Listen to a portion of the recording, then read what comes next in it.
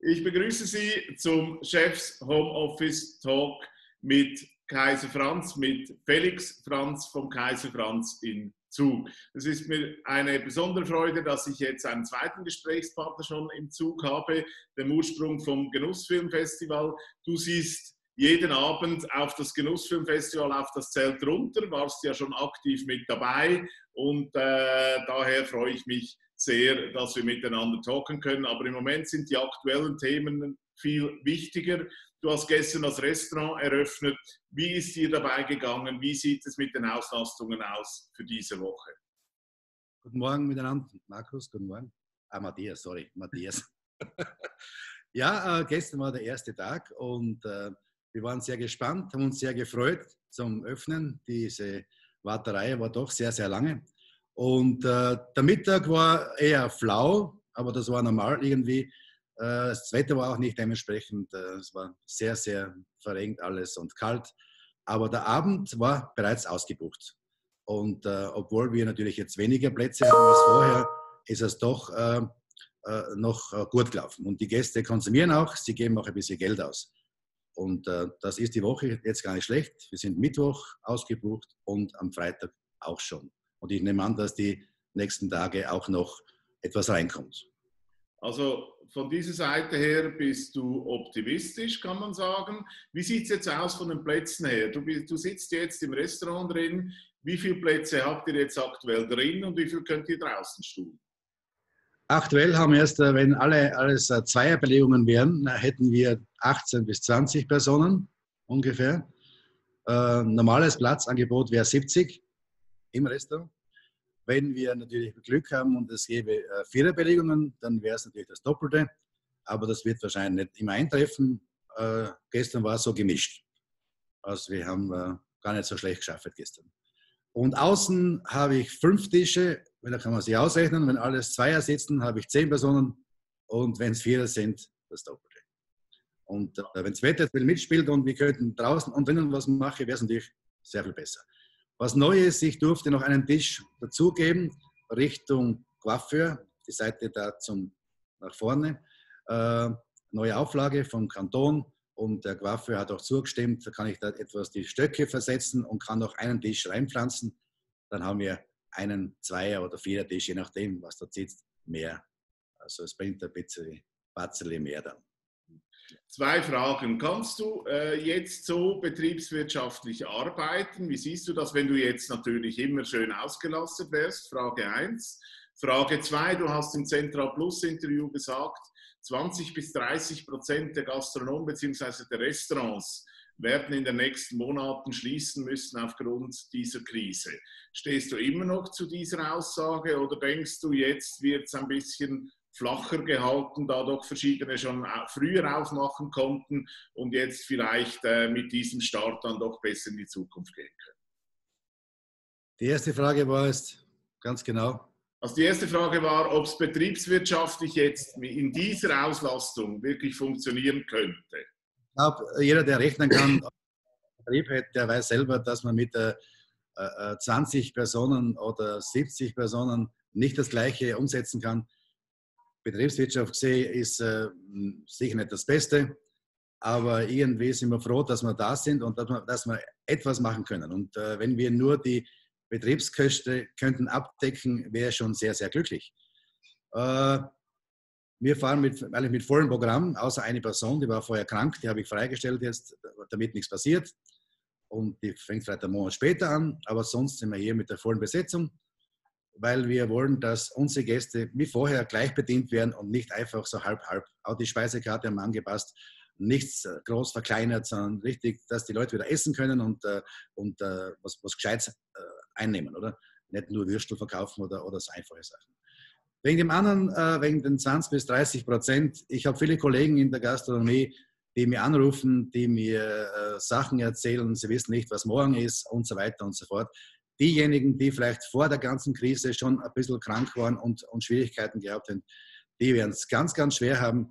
Es sind viele Jungstarter, denen ist wahrscheinlich das Geld langsam auch schon ausgegangen.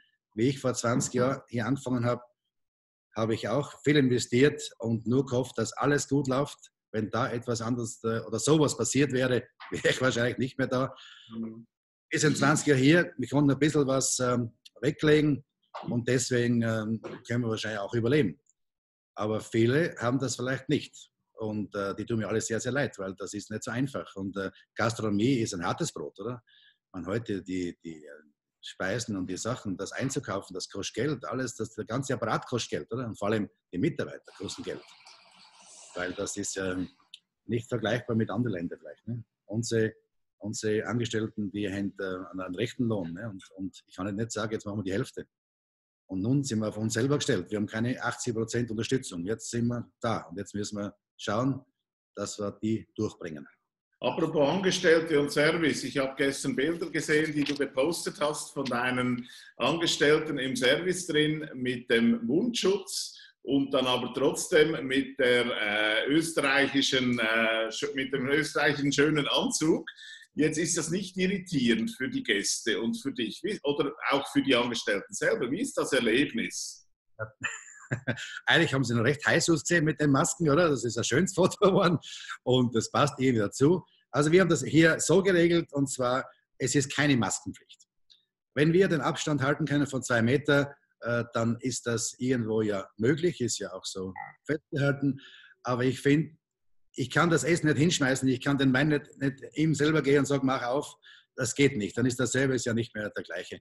Und das haben wir so gemacht, der, was zum Beispiel ähm, den Tisch aufnimmt, der muss keine Maske tragen, aber der, wo dann das Essen bringt, den Wein serviert, den Kontakt am Tisch mit dem Gast hat, der muss eine Maske tragen. Denn der kann die zwei Meter nicht mehr einhalten, oder? Und jetzt haben wir das versucht und gestern haben eigentlich alle eine Maske angezogen. Es ist sehr ja, man muss zuerst daran sich gewöhnen. ich habe fast keine Luft. Wenn ich atme und die Brille aufhabe zum Beispiel, laufe die Brille an, die läuft an, geht weg, läuft an, weg. Das ist gar nicht so, so lustig. Beim Sprechen auch natürlich. Hast du hier ausländische Gäste und willst eine Empfehlung machen, der versteht ja kaum mit der Maske. Ne? Ich bin ja kein Chirurg, muss das, der muss mich verstehen können, oder? Und äh, das ist sehr schwer. Heute kommt noch eine Ladung, ich habe noch was Neues bestellt. Es gibt neue Chaps, so Kappis mit der Maske. Die habe ich gefunden im Internet und jetzt versuche ich mal, ob das was wäre. Wahrscheinlich schaut das noch dümmer aus wie der, der Mundschutz, aber in der Küche könnte es vielleicht gut sein, wenn die statt die Koch hört, sagt Chubby Hand mit der Plexiglaswand, dann sind die natürlich auch geschützt. Denn wichtig ist, dass die Mitarbeiter geschützt sind, dass hier nichts passiert. Denn wenn hier was passieren würde, dann wäre das Dümmste, was kann sein, das ist nämlich, dass ich dann zusperren kann, oder? Und, das wär, und ich möchte hier noch gesund bleiben und wenn es geht, noch schauen, dass wir aus der Krise rauskommen. Genau. Jetzt bist du ja vor 20 Jahren als Kaiser in Zug aufgetaucht. Du warst vorher aber schon aktiv in der Zentralschweiz und auch in Zug. Aber für mich war das so irgendwie, plötzlich war der Kaiser da und äh, wo war der Kaiser vorher? Was hast du vorher gemacht? Ich möchte ein bisschen was wissen von deiner Karriere her. Und vor allem bist ja du nicht nur in Anführungszeichen Gastronom, äh, Sommelier, Chef de Service, sondern du bist ja auch Koch du bist auch hinter der Kulisse, du warst auch schon äh, Wochen, Monate lang in der Küche selber, hast die Küche geführt. Also du kannst alles. Ja, zum Glück kann ich alles, das, sonst wäre das damals ganz böse gelaufen. Ja, meine Karriere hat begonnen vor 40 Jahren, wie ich in die Schweiz gekommen bin. Ich habe mehrere Stationen durchgemacht. Ich war damals in Glashof, wie der Mark Ritsch noch gelebt hat. Dann wurde ich gerade nach zwei Monaten zum ET Patro. Dann ging das los. Dann äh, kam ich in die Hotelfachschule Luzern als Servicefachlehrer, durfte dort viele, viele tolle Schüler ausbilden und äh, kennenlernen, die ich heute noch kenne und die viele gute Kontakte habe. Dann ähm, habe ich das äh, vier, fünf Jahre, war ich Lehrer, ja.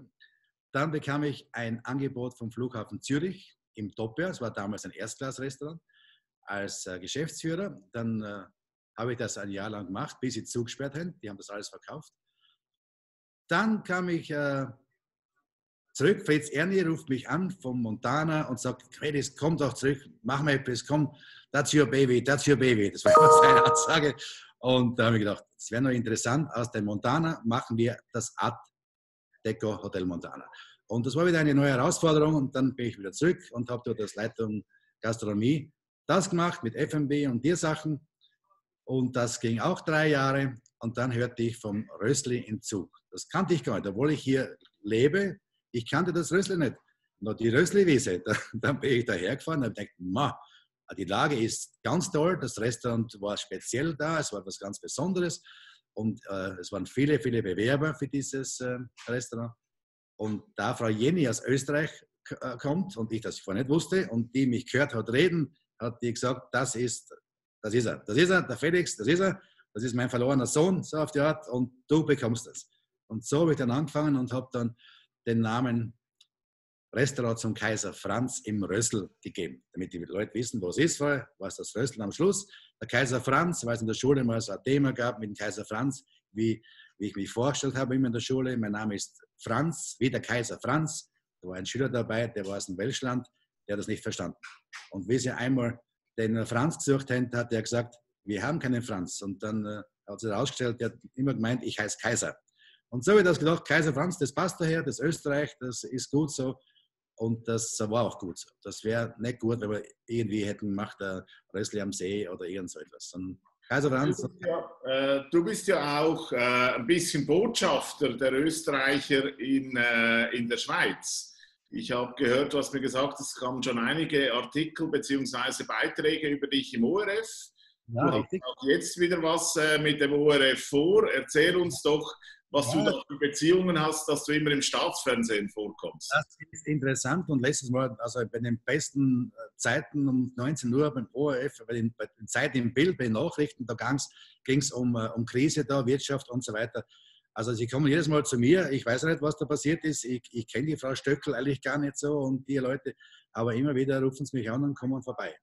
Morgen habe ich etwas, also ich kann nicht kommen, ich kann auch nicht kommen, wir machen dasselbe wie mit dir und zwar um 21.05 äh, in Österreich 1, Talk One mit der Frau Stöckel, geht es um Corona. Wie machen wir das hier? Wie läuft es in der Schweiz? Es kommen ungefähr die gleichen Fragen. So. Das mache ich morgen, aber dann live. Also ich hoffe, ich mache keinen Patzer, dass wir nicht schämen muss. Meine Mutter zu Hause sagt, mein Gott, was rette, wir haben Blödsinn zusammen. Ne? Also, Super. Heute sind wir auch halb live gewesen haben ein bisschen über dein äh, Leben gehört und wie es jetzt vor Corona ausgesehen hat und jetzt nach Corona sehr wahrscheinlich aussehen wird. Wir hoffen natürlich, dass sich baldigst das auch äh, wieder noch weiter normalisiert, dass es dann auch äh, eben betriebswirtschaftlich wieder besser aufgehen wird. Wir wünschen dir alles Gute für die Zukunft und morgen ein gutes Interview für die Leute, die Zeit haben. Guckt rein in ORF, was hast du gesagt, 21.05 Uhr, glaube ich nur 5 ORF 1. Talk One heißt das anscheinend, diese, die Sendung, ja. Okay, super. Also, dann wünsche ich dir alles Gute und deinen Mitarbeitern liebe Grüße und mach's gut. Vielen herzlichen Dank, Felix. Und alles Gute den Kollegen, meinen guten Freunden, Wirten, dass das Ganze gut geht und alle überstehen. Ne? Und super. danke dir für das Interview. Merci vielmals. Servus. Danke vielmals. Tschüss. Servus.